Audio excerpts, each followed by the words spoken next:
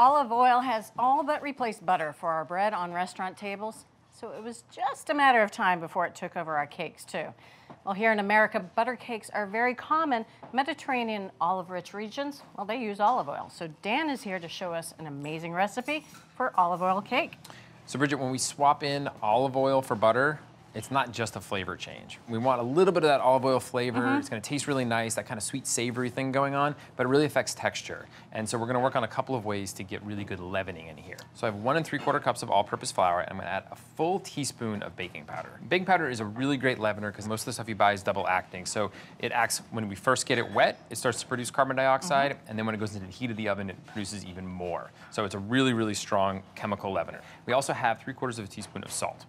Did I mention that this cake is simple to put together? I'm more of a cook than a baker, and I feel like this is a great cook's dessert. Excellent. Yep.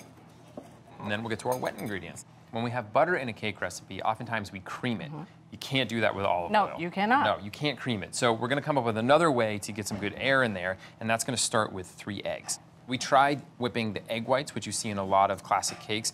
It just wasn't strong enough to stand up to the amount of olive oil mm. that we put in the cake. So we wanted something a little more sturdy. So we're gonna whip these whole eggs just until they're frothy, about a minute on medium. Okay, so it's foamy right now. I have one and a quarter cups of granulated sugar and a quarter of a teaspoon of lemon zest. We're keeping the flavor profile really clean here because we want that extra virgin olive oil to really shine through. Okay. But a little bit of lemon zest goes a long way. It's sure. nice. I'm gonna beat this on high speed for about three minutes. We're looking for that really beautiful, pale, kind of ribbony texture, and that means we have a lot of air bubbles in there.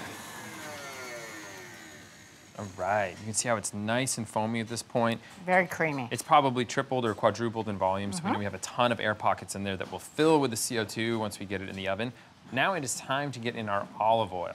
You actually want to use really good quality extra virgin olive oil for this because we want a lot of flavor to come from it, mm. right? So we could make this cake with vegetable oil, it'd be nice and moist, it'd be sure. fine. It would just taste like sugar and eggs. We right. want this to really come through. So you want to use a good one that has a little bit of pepperiness to it, a little bit of spice. There's a little counterintuitive because it's going into a cake, but sure. you want it to stand up. Okay, beautiful. So once it was all in, mix a little bit longer just to make sure you don't see any streaks of oil. So I'm adding half of our flour, baking powder, and salt mixture. And I'm gonna mix on low speed. We're gonna do everything on low speed from here on out just to be as kind of as gentle as mm -hmm. possible.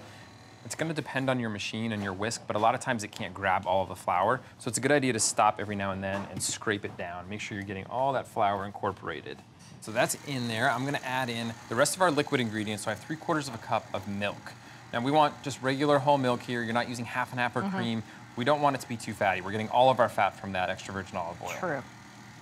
I'm gonna go in with the rest of our flour mixture. And again, mix on low speed.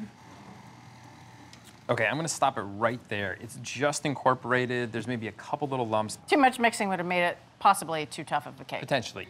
So I have a greased springform pan here. Springform is really nice for this cake for a couple of reasons. One, it has very high sides, and we're looking for something that kind of rises up and looks pretty dramatic. We've done a lot to get air in here, mm -hmm. and we mm-hmm. want that to show through. It also means we can put a nice crust on the top of this and then not have to worry about flipping it out of a cake pan. So the springform is perfect here. So I'm just gonna pour this in. And then the final touch here is two tablespoons of granulated sugar. We're just gonna put this over the top. It's not gonna look like anything until we pull it out of the oven, then it looks really cool. We have a 350 degree oven on the middle rack. It's gonna take 40 to 45 minutes until a toothpick comes out. With just a few crumbs attached. All right, are you ready? Smells so mm, good. Smells so good. Uh, something going on there that we've got to talk about, I think. Yes, it's got a very cool little hat on top. So this has been in there for 45 minutes, and I'm gonna check the doneness. We're gonna use our little toothpick here. So I'm just gonna go on the side. This looks great. There's just a couple little crumbs attached. It feels dry. This guy is definitely done. Okay. So yes, this is that nice little sugar sprinkle mm. that I put on the top there. It does this really cool thing where it almost acts like a meringue and it puffs up on top. It's gonna provide a nice textural contrast when we go to eat it, but we can't do that yet. We actually have to wait a little bit. Okay. So it's been 15 minutes and it's time to get it out of our springform pan. You wanna look around and make sure that the cake is separated from the sides. If you have an older pan, it might stick to the sides a little bit and you just wanna run a knife around the outside okay. there. But this looks great, totally separated. So now we're gonna use the great functionality of a springform pan and just flip this little latch it's gonna expand it just enough. It's gonna make it a lot easier to pull it right off. Oh, beautiful. So I'm just running a knife around here just to make sure that we're fully separated on the bottom. I'm just gonna slide it the rest of the way off, right, onto our wire rack. So this needs 90 minutes to cool down the rest of the way, and then we'll transfer it to our board, and it's time to eat.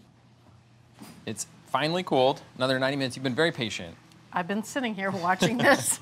and look, the top is beautiful. It's actually settled a little bit, but it still has some separation. Oof. See the inside of that too. It's beautiful. The crumb on this cake might be the most even crumb I've ever seen. A nice little wedge would be perfect. I can do that. So you can see we don't have anything else with this. It's really about the extra virgin olive oil in there, that great flavor, great texture. It's almost fruity. Mm-hmm. It has a really fruity flavor to it. It's beautiful and it's soft and it's tender. I love that crackly, crisp top. That funny little hat turns out to be Oh. an important part, huh? It's your hat trick. Great job, Dan. Thank you. Our olive oil cake batter gets lift from baking powder as well as beaten whole eggs. Beaten sugar, lemon zest, and good quality extra virgin olive oil. Scrape the batter into a springform pan and bake until deep golden brown. So from our test kitchen to your kitchen, a dessert game changer. Olive oil cake. Thanks for watching America's Test Kitchen. What'd you think? Well, leave a comment and let us know which recipes you're excited to make, or you can just say hello. You can find links to today's recipes and reviews in the video description. And don't forget to subscribe to our channel. See you later. I'll see you later.